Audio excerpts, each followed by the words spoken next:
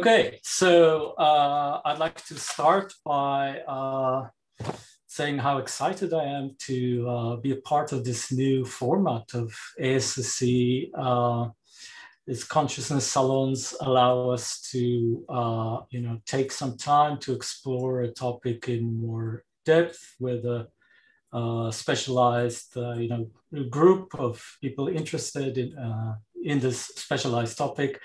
Uh, not everyone are, uh, is an expert, I imagine. In fact, uh, I would uh, say uh, feel free to use the chat to just let us know what your background is so we can kind of get an idea of who, who our audience is. So just say if you're, what your primary discipline is, and I think that should be just about enough. I'm not going to assume any prior knowledge of synesthesia, but I will try not to bore you if you do have prior knowledge of synesthesia. Okay, so my plan for the next is, uh, is as follows. A quick introduction to synesthesia. Uh, I will then tell you I will then tell you why synesthesia researchers are actually studying consciousness. Hear me there? My computer just, but my internet connection is unstable. Let's hope it stays stable, but uh, which I can, uh, let me just make sure this is connected.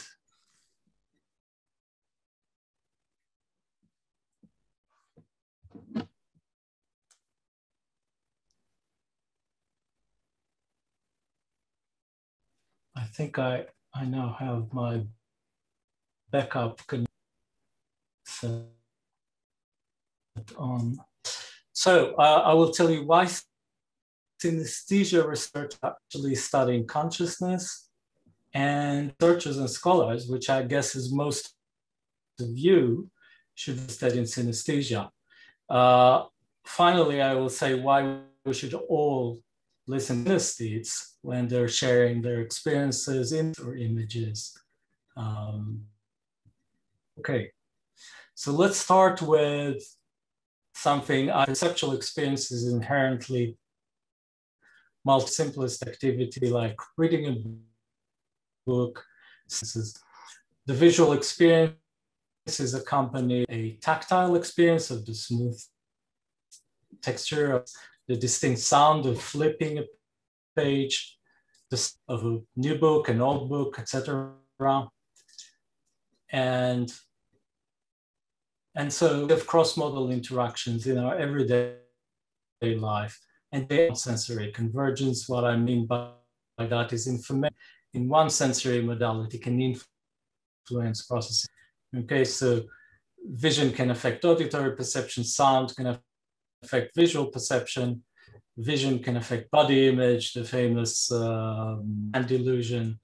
A color can affect taste, ju- sound can affect food texture judgments, lots of examples. Cross-modal interactions are quite common, the necessary sense of the world around us. What's more so that in some individuals, such cross-modal interactions can actually occur when only one sense is stimulated. Okay, and this is synesthesia. So what is synesthesia? Usually if you look up some sort of dic dictionary definition like this, stimulation in one modality, the perceptual experience in another modality, and the uh, usually given is uh, when you listen to a sound, you see a certain color, that's synesthesia. Uh, of course, there are many other sensory combinations. We're talking here not about association. We're talking about a concrete sense experience. Okay, it's not just a, a colorful way of describing uh, what we're looking at. And to kind of prove it, it's for real, what is quite a lot of evidence that's consistent with that. Of course, you know, looking at someone's brain, we wouldn't be able, we, we can see, we wouldn't be able to say for certain what the experience is like. Well, maybe on a rudimentary level, we're not quite yet uh, reading minds 100%, but self-reports, we have behavioral evidence that is difficult to, uh, what I mean by that is we have evidence where actually showing superior performance in a task. Uh, uh, and why? Because superior performance is able to fake, unlike, say, a slowdown in reaction that you would see in a Stroop-like paradigm or interference paradigm, okay? So we do have paradigms where uh, the evidence is, and of course, there's the neuroimaging evidence that idea about, uh, you know, certain parts of the brain that we would expect to be active, genuinely having a perceptual experience, we do be active in many cases.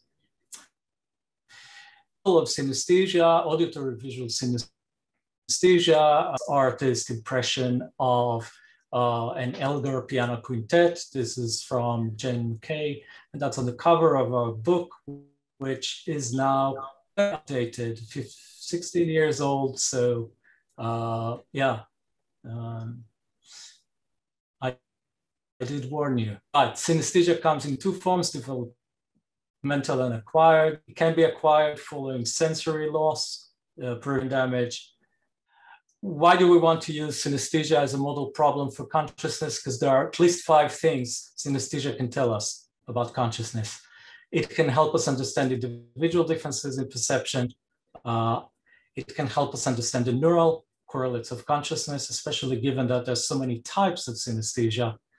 It can tell us a few things about how we construct the, the perceived world and even the social world.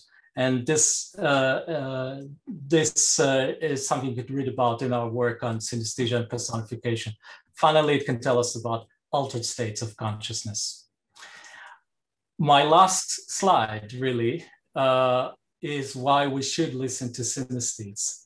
And the reason is it's very easy to become overconfident that once we have named a phenomenon or a synesthesia variant, uh, then we get this feeling that we we more or less know what there is to know about it, and uh, we make certain assumptions about what the phenomenon is like, and maybe we gather the group of 20 synesthetes and scan all of them, and then we average together a lot of interesting effect. We average them out because we are not aware of further individual differences within our group.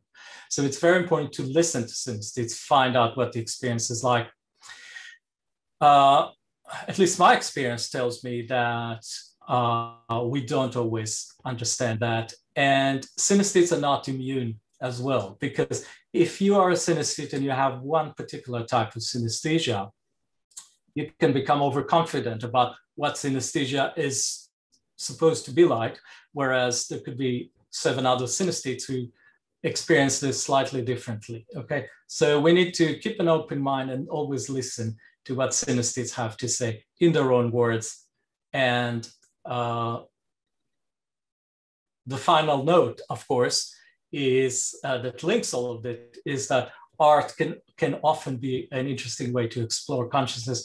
This has been said multiple times in various ver versions, uh, like painters explore uh, you know, visual consciousness because they're trying to see what tickles the senses. The same can be said about any other form of art. Uh, writers have been said to be exploring um, to be exploring uh, consciousness. Uh, and so I'm not going to take any more of your time because I want to leave time for Svetlana and for uh, Ningwei Xiong. So without further ado, uh, I'll stop here. Uh, up forward to you. No, thank you so much. Uh, I hope we hear you again in uh, answering the questions.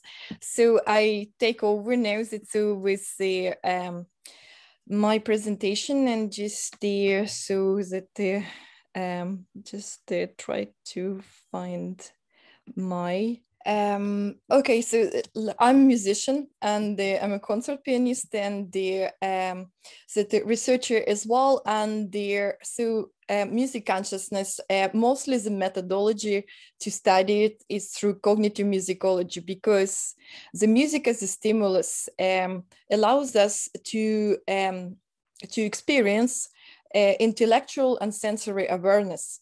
So um, uh, just there, I show you the, oh, that's so, mm, okay.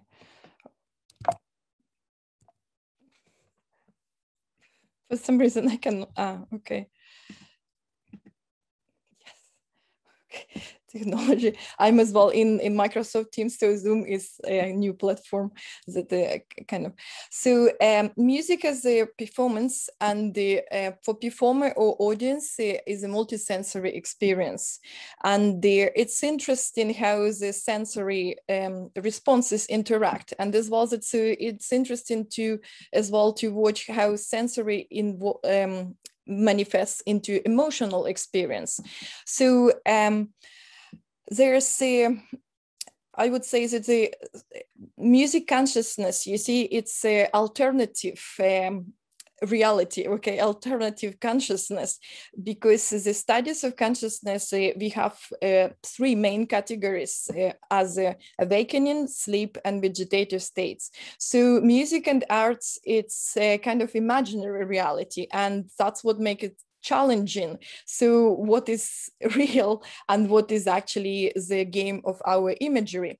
So that's why synesthesia kind of uh, shows us a scientific way as the diversity of perceptions uh, and the, to see that too how synesthetes uh, use music as a stimulus for their creative endeavors, uh, as well as so synesthesia, you see, it's only um, occurs in 4% of population, while uh, cross-modal associations on music actually we all can experience. And there's uh, some facts in music as well that uh, as a program music or um, you know that a lot of music compositions get uh, nicknames such as even moonlight sonata beethoven or raindrop chopin prelude. So it's all present but uh, so synesthesia just give us more kind of scientific insight evidence, you know, that so it could be present in sensory, um, just translation from a one sensory modality to another. So, um, uh, okay, so um, I do have a lot of collaborations with artists, visual artists, uh, and the synesthete artists and the just uh, professional visual artists and animators. So, and the by uh, International Association of Synesthetes, Artists and Scientists, we have regular meetings where we discuss an interdisciplinary because how science progresses and then we share the artistic experiences as well. So um, we had in Dublin, for example, um, during Brain Awareness Week, so uh, artist synesthete Timothy Layden painted music um, as I performed, I played, you know, that's a piano program.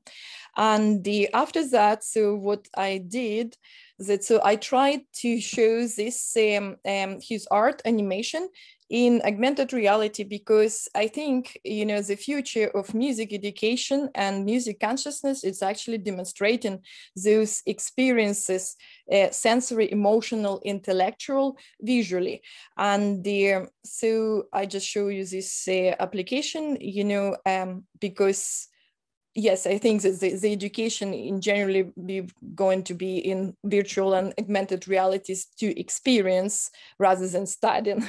So, oh, that's sorry, I skipped. So here, and then so, yeah. So I press play.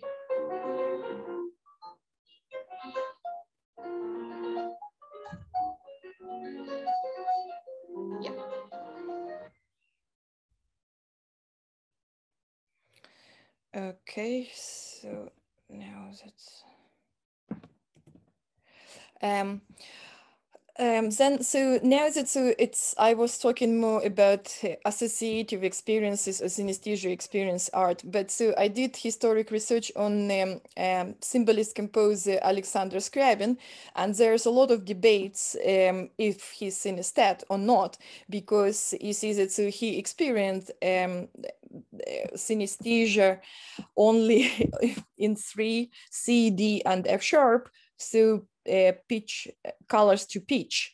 Um, but it's actually by my research, I would say um, state or like hypothesis that so he had a musical space synesthesia and there so um, in Trinity College Dublin, we created computational model of um, musical space synesthesia based on research by um, Akiva Kabiri Linkovski, uh, Israeli researchers team so that they, they stated in musical space synesthesia, musical pitches are perceived as having a spatially defined aura.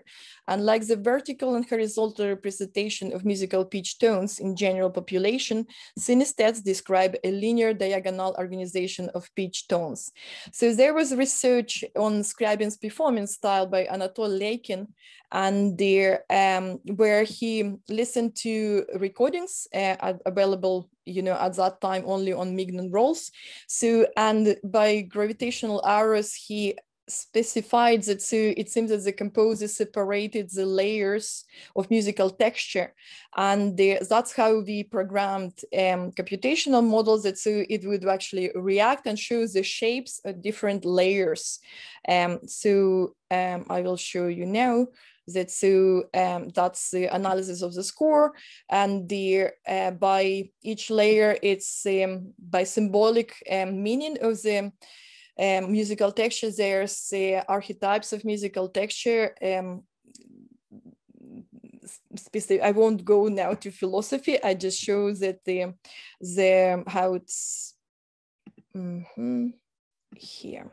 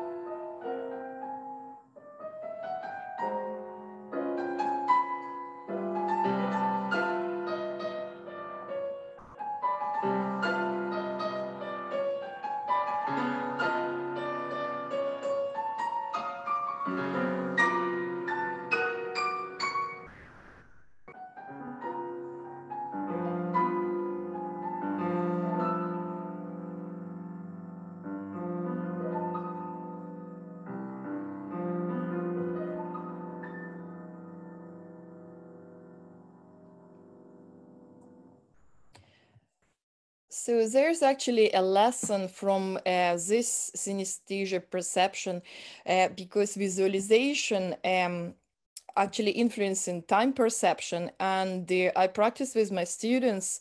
So it's allowing if uh, they give enough time for the shape, their technique and virtuosity much improves without um, um, many many hours of practice. So it's because it's our perception you know we cannot exist uh, without acoustics without our ear perception without our imaginary imagery and touch because everything is connected the speed the um, the weight of the hands and the so it's it has a big impact i think you know that so on piano technique for example that so we can teach this visualization. So um now that so um, we just wanted to, to say thank you that for being present. There's my publications there's website so uh, very welcome to get in touch. And the, so I will pass now presentation um, to Ningwei Xiong, who painted um, Ballade Chopin number one, G minor. Uh, and the, so he will go through um, just his presentation and then at the end you will hear the performance and I hope that so you will apply all this information and the, I hope that your imagery will be more rich even than before. So Ningwei, you can take over. Yeah, thank you. Hello, Sienna, can you hear me? So I stop sharing my, yeah. Can you hear me? Yes. Everyone can hear me? Okay? Yeah. Yeah, okay. So behind me is my music visualization of Chopin uh, ballad number one. In fact, uh, maybe I think it's three or four years ago, Sivilena uh, invited me, said, uh, I send you a, a MP3 about my performance. If you can visualize my piano uh, performance or not. but at that time, I was uh, quite ready with my tools. So say, I, I, I want to explore your, your music uh, performance is very interesting. So it's really give me a lot of uh, synesthesia response. And so I want to say that it's a painting two dimension, but in fact, my synesthesia uh, response is, is not just the painting, it's really the environment, is that I was, uh, I was inside of the painting and all is environment, is like a nature environment. So I make a very a small uh, mod, uh, model to show you I don't know if you can see. Yes. So this is the painting, okay? But in fact, I, I, I was here, okay? I was here hiking in the mountains to the top. So, so you can see during my hikings, I have a lot of feelings. So a lot of different kind of perceptions uh, as, as you. Huh? So this is, a, in general, is my uh, response of Silena's work. Uh, so, uh, can I share my uh, presentation? Yes. Can you see this presentation? Yes, yes, everything fine. Ah, okay, good. Let me put large. Okay, so uh, let me start from the very beginning. Okay, uh, uh, so uh, I think it's after five or six years later, I joined the international synesthesia community and a lot of exchange the program. And you can see that uh, in I was invited in, in Milan as well in Granada University and working with them. Uh, so uh, I, uh, when I was young, I played violins. And I think the first time when I have a, a feeling of uh, a, colorful is through the Vivaldi's uh, violin concerto for, for seasons. And uh, at that time, I was join a local amateur uh, orchestra uh, team. I played the second violin.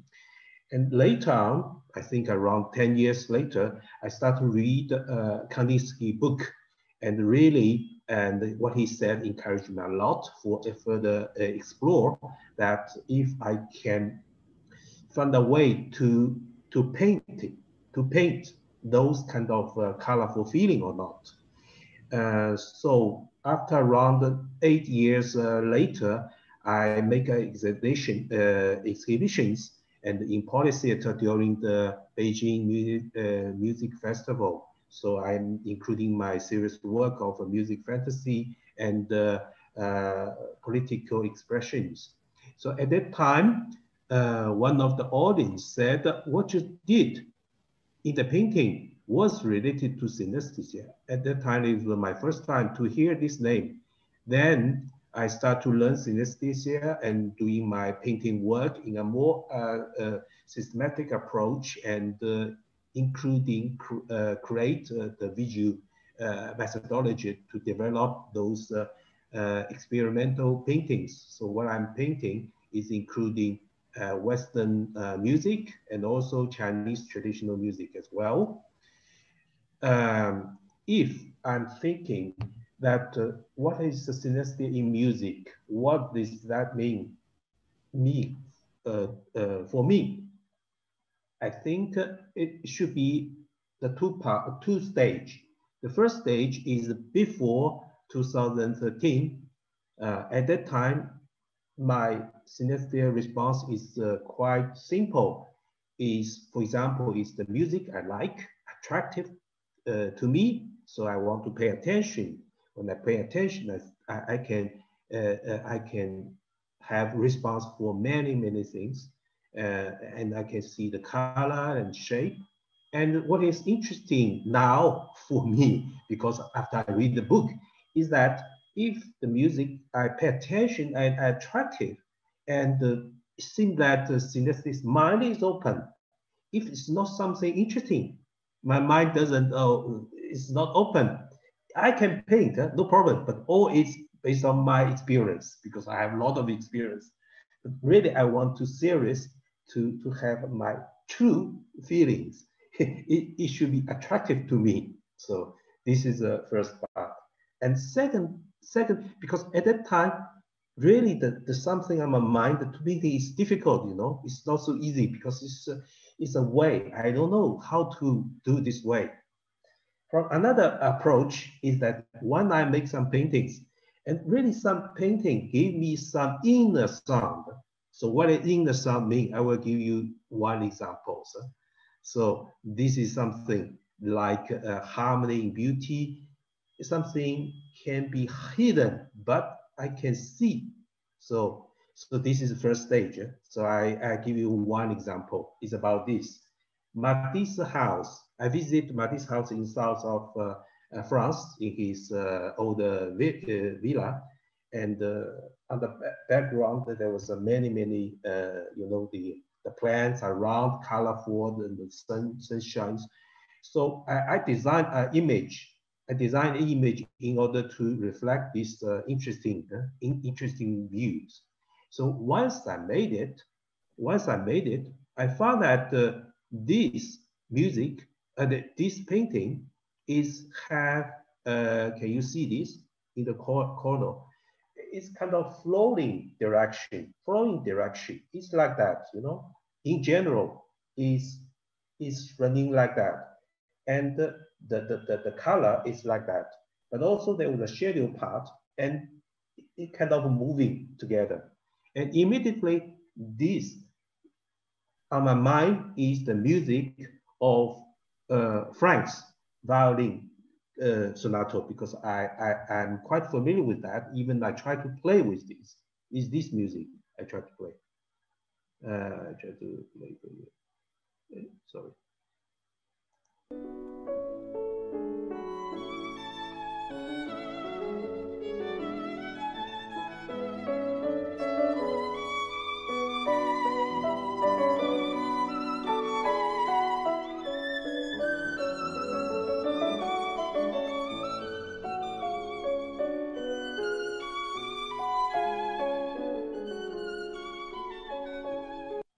Yes, later there will be a part with this little bit uh, uh, dim, okay? And then it change into a bright part again.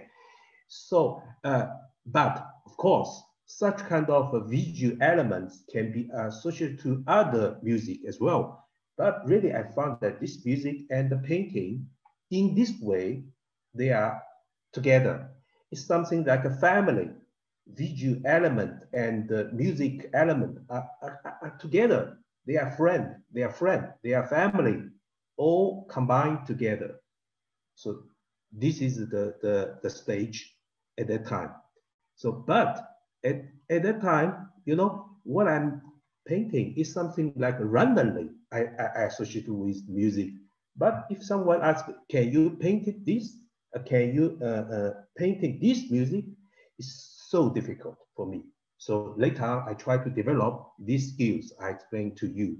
And because the first time I would say that the music is really uh, quite a lot of things inside as the, uh, the our uh, colleague said, uh, uh, the, music can bring us uh, emotions, bright or richness, temperature, color, motion speed, shape, shape, and the line and flow, touch, texture, taste, or smell. So I try to develop these uh, tools.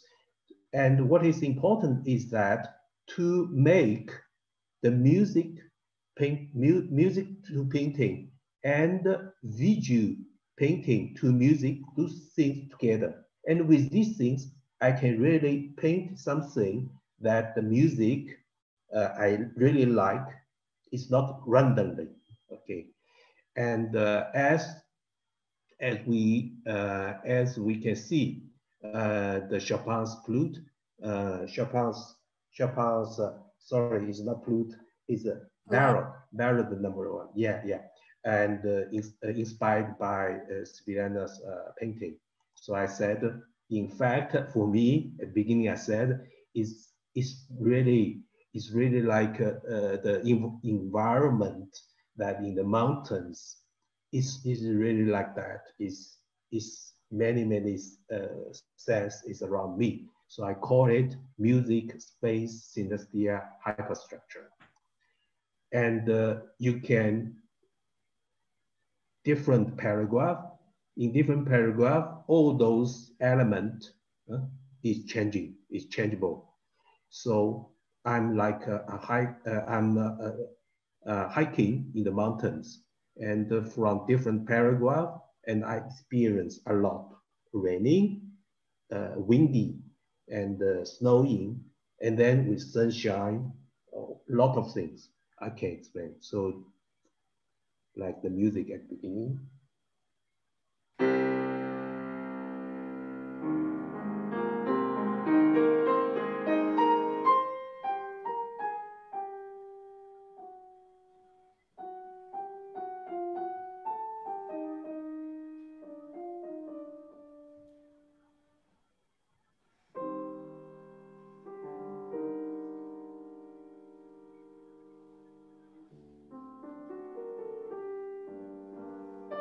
You can see this music at the beginning, this long march is not so pleasant. if someone forced me to, to, to, to be in, inside and running. But later, I found so colorful things. Really, really, really, really good. So it's really like a journey. Huh? It's a sense of journey. uh, I can see that. So I give you another example is the, the uh, one of professors asked me, so, okay, Sean, uh, Hui, you have uh, tools. Uh, can you uh, make the visualization of Chinese famous painting, uh, uh famous music of flowing water? So this is my this is my final approach. So I explained to you what I did briefly. So this uh, flowing uh, water is uh, traditional Chinese, typical Chinese Chinese music, and and it was in the golden record included uh, to the space shuttle to flying uh, to the world. And in fact, this music is about a story that uh, one of the one of the musicians asked another friend, say, what do you think that through the, the, the, performance you can feel something? So this is a and this is true the, the, the story about about this part. And my grandfather have the choreographic about the, the these two wording uh, flowing water. So uh, I give you the one example is because through um, the discussion when I have the idea, I invite the musicians. I invite the musician to to say that, am I feeling? Do you have understand my feeling, or uh, is it the same approach uh, of your synesthetic response? I invite uh, Zhang Zhang Wanqing, so she did give me a lot of help. So, for example, about this first paragraph, there will be a nine paragraph. So I said that this music is, I can hear the, this blood uh. I can, I can also hear the something is uh, through all the direction and also something blowing on my face. So all the things I reflect in the painting is something I can feel that through the performance of the of the chain music. I just give you this.